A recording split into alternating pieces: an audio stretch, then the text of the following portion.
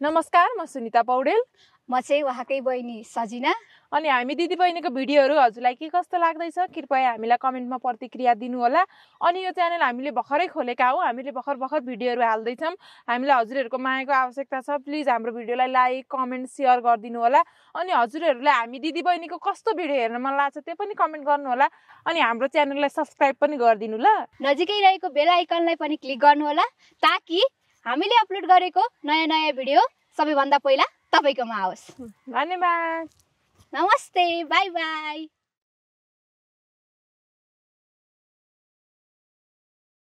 खोइ कहाँ पका खान के तेरो भात पकाउने पालोमा डाँडा डाँडा ल्याइछे। कहाँ पका खान खोइ? माथि छ के त कस्तो के भनेर खाने? लाज हुन्न भनेको मान्छेको अगाडि। हामी पनि तपाईँहरूकै पार्टी हो भन्नुपर्छ कि तेरो। टाउको पार्टी भने हो कि होइन भन्ने कुरा चिन्दैनन् उसको कसरी चिन्छन् त। धेरै मान्छे आइछन् के पक्न आइदियो नि यहाँ खोइ। म लिएर जान्छु उयो छ क्या अलि माथि टुप्पो पनि पुग्नुपर्छ। तेरो चस्मा खोल्के कहाँ छ खोइ? यहाँ छ क्या आइदिनु म देखाउँछु यस्तो गर्छ कि? यसले आफ्नो भात पकाउने पालोमा डाँडामा पिकनिक छ र कहाँ पिकनिक छ भनेर लिएर आएर डमडम खानुपर्छ क्या दिदी नकर खोइ कहाँ? यो तेरो टाउको यहाँ खर मरिसक्यो खाने हेर। लो बा। के हो यो त? मुनिबाट यहाँ डाँडोमा पिकनिक खा खाने भात पकाउन झ्याउ हुन्छ हिँड त्यहीँ गएर खाम भनेर लिएर आएर बाह्र बजी लिएर आएर अहिले भात छैन यहाँ। जा गएर लिएर आएर यहाँ पका। छिटो।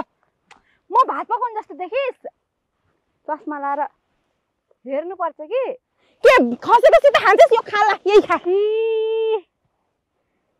के हेर्छस् त अनि भैमा? आछ। सुन त खा।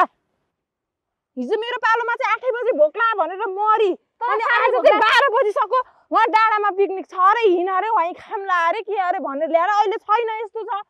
खोजिदिन्छु के पख्न के खोजेस् के चरा हो र म चारो खोजेर खाने भनेको भात चाहियो?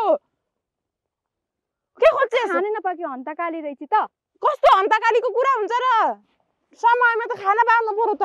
पोकोतिर छोडेर नि गएको हुन सक्छन् कति चाँडै गर्छन्। बेथामा यो राखेको ज्याकेट लाएर आए राम्रै मान्छे होला नि ठुलै मान्छे होला नि भनेर। खुब ठुलो मान्छे बन्न थालेको होला। त म जस्तो त कहाँ हुन्छ? हेर भात चाहिएको सजिना मलाई। मैले तँलाई हिजो मेरो पालोमा मैले तँलाई आठै बजे पकाएर हो कि होइन। यतैतिर छ होला के? के छ यतातिर? यहाँ बोतलमा। ए बा यहाँ रहेछ त नला खानेकुरा। तँ खा न त्यही। पक सुन त।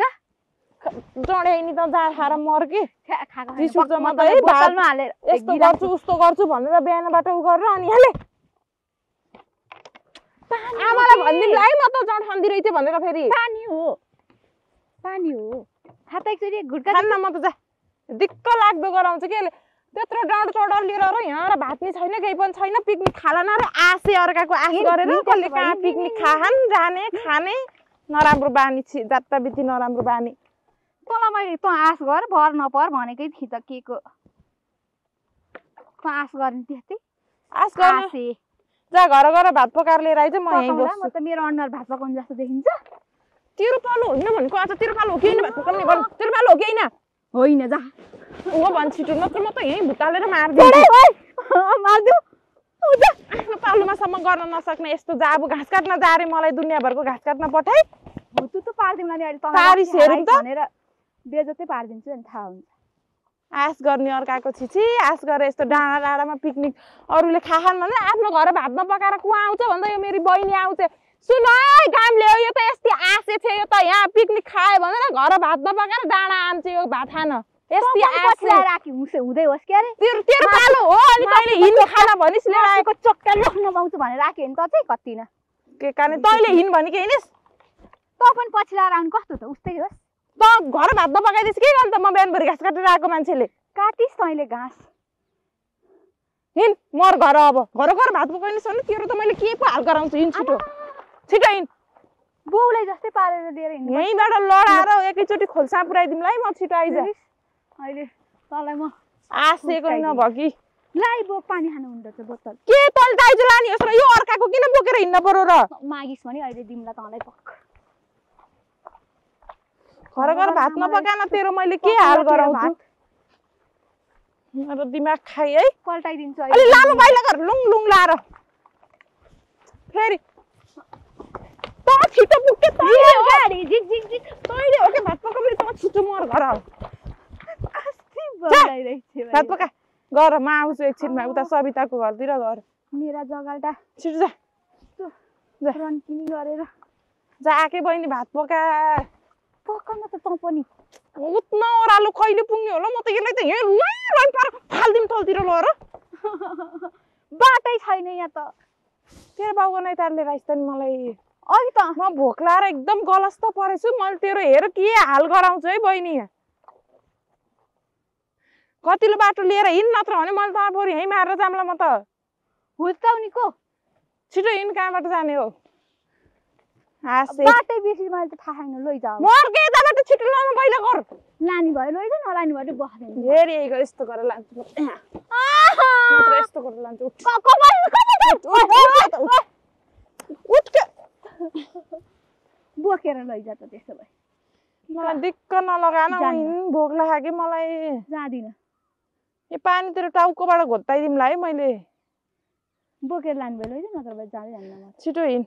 अह। नत्र तेरो त उसँग बोलेको म आमालाई भनिदिन्छु कोसँग बोलेको ए? त्यही आशिषसँग बोलेको अहिले दिन्छु मैले थाहा पाएको गर भात पका नत्र म भनिदिन्छु ल छिटो यस्ता राम्रा लुगा लाएर आएँ बेथाममा है यहाँ पिकनिक खान अरे भनेर रमाइलो होला भनेर ल म छिटो आइज क्या हो यहाँ गुल्टी जा झिजो मलाई तँलाई एउटा कुरो थाहा के मैले यहाँनिर यहाँ यस्तरी बसेर यस्तरी मैले त्यो बलेसँग फोटो खिचेको छु त। यस्तरी के यस्तरी के बसेर गर्ने त फोटो न खानिदिनु न लाम्न दिनु न ढाक्न दिनु के गर्छ? जे भए पनि हो नि त बले बुढोले मलाई के तँलाई बिहाएर लान्छु भने बिहा गर्ने कुरो होइन के? हो त? न दाई न भाइ न पोइ न बाउतिरको न आमातिरको के न मामातिरको लै। तँ झारेर भात किन पकाउन यस्तै- हिँड्ने? यस्तरी बसी थियो कि म हेर न य- यस्तरी यस्तरी बसी थियो हिँड के भात पका के भन्छ तँलाई एउटा कुरो थाहा के? ऊ त्यो घरमा स्वस्तिमा को त्यो दिमाग दिमाग खराब के? तेरो त दिमागै खराब छ। त्यो त्यसको घर जलाएको ऊ त्यहाँनिर हो तँलाई म देखाउँछु तैँलाई जला भने त त्यही घरभित्र हालेर लैन अब छिटो। भातले मलाई त सोच्दैमा ऊ मलाई केही गरिमाहरूले पनि म्युजिक भिडियो गरेको थियो। जसो तैँले गरेकी होस् र। तर म पनि जाउँ न टिकटक बनाउन भनेको। जा अब टिकटक भात खान पाउँदैन टिकटक। है छिटो। हिँड के बहिनी हिँड मलाई झिजो नलगा त छिटो। कहीँ पका त त्यसो भए। मलाई रिस नउठाए अहिले गालामा फुट्ने गरेर खाली चढाइ चढाइ टोपीमा किन हात लाउने के हिँड्न त मर छिटो। त झारे पातेलाई के थाहा? के थाहा त झारे पातेलाई? हिरो बो कस्ता हुन्छन् भनेर त झारे पातेलाई थाहा नै छैन तँलाई थाहा भएको। जसले टाउकाको जुम्रा निखारे होइन तँलाई हिरुनीको कुरा के कानै। थु। पहिला टाउकाका जुम्रा निखार अनि हिरुनीका कुरा गर।